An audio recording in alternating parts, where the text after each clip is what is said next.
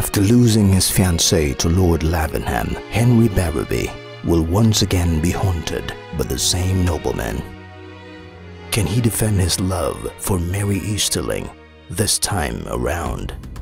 An ironic twist of fate that would lead to a life-threatening battle over church lands and love of Golden Mary, a historical romance novel by John M. Brewer.